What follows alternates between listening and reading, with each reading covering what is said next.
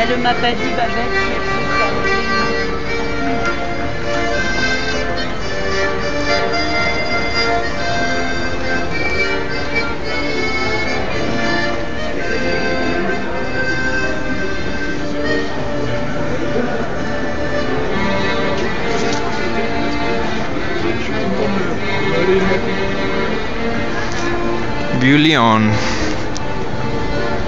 It is the best.